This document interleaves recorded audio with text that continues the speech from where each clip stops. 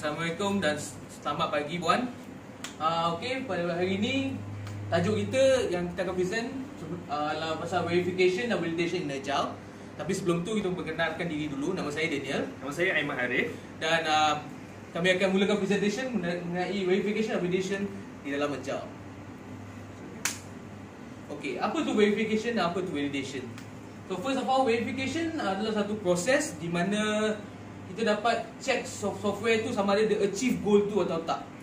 Okey, uh, kita juga check sama ada dia ada bug atau apa. Biasanya verification ni di dalam part-part awal lah requirement lah kan. Kita nak gather requirement kita nak check dulu lah. Okay, next is what's validation. Validation is a process for checking the validation of a product. It check whether the dev- whether the uh, develop developing is the right product or not. Okay, uh, just like we example kat tepi tu, we can see that verification ialah banyak soalan ni normally kita tanya are we building the product right? Okay, pada pada masa yang sama validation pula kita akan tanya biasanya are we building the right product? Tu beza je lah. Okay, next slide. Next slide please. Okay, by, by the way, uh, agile process. Ni agile process model. Uh, Dia ada beberapa phase lah. Okay, Dia ada lima phase Dan dia ada iteration 1, iteration 2, iteration 3 okay, Phase pertama dia adalah requirement requirement gathering. Lepas tu dia planning and design Develop, testing and also evaluate. Lepas dia dah habis semua tu Dia akan loop balik Gather requirement balik. So maksudnya dia akan complete Satu projek yang kecil Projek yang besar Tapi dia scope part kecil tu Dia akan siapkan dulu. So lepas dia dah complete Dia, dia dah veri- verification Dia dah validate part tu Lepas tu dia akan sambung balik part lain. Maksudnya setiap looping tu Dia ada verification dan validation dia uh, Okay next Okay, uh, untuk verification verification uh, verification di dalam Agile adalah di dalam planning and design phase di mana verification is used to illustrate how each phase of the process meet the requirement imposed by the prior phase.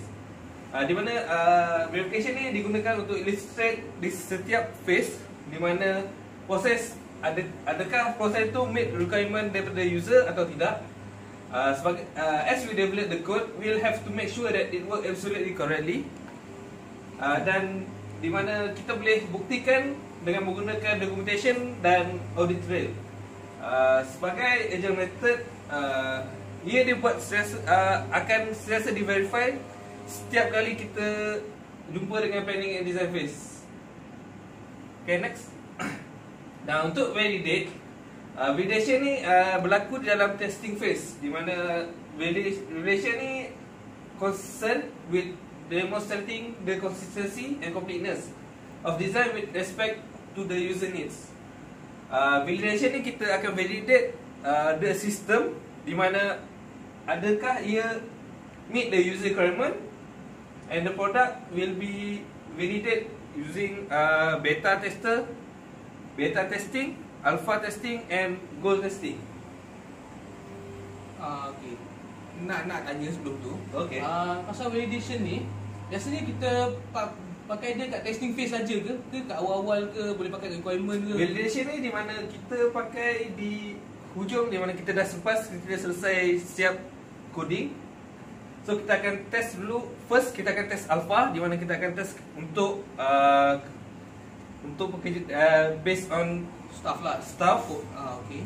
Untuk yang kedua adalah beta di mana kita akan uh, sebarkan Release kepada public Release lah kepada untuk- public. ah. uh, dan dah sekali kita goal ni eh, maksudnya kita dah terus release lah maksudnya sistem dah okay and based on the alpha and beta we we will collect the user comment and redevelop Redevelop the lah. system Okay uh, Macam mana dengan verification pula ya?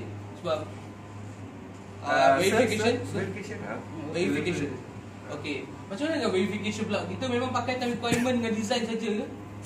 Uh, di mana verify ni kita setiap kali kita nak sebab uh, boleh tak minta buka slide agile Buka start agile Okay, di sini Okay, sebelum tu saya terang tentang agile process ni Dia ada banyak iteration Di mana first iteration Kita tak ambil semua requirement. So, uh, setiap iteration tu kita akan ambil sikit, sikit, sikit daripada user. So, di mana agile process ni akan sentiasa digunakan uh, Akan sentiasa berjumpa dengan user supaya kita boleh gather requirement baru. So, untuk verification next.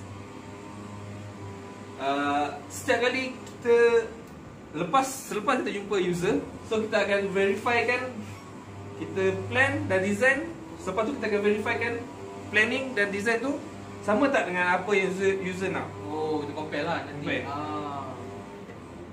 Okay uh, di situ saja untuk verification uh, back per reference.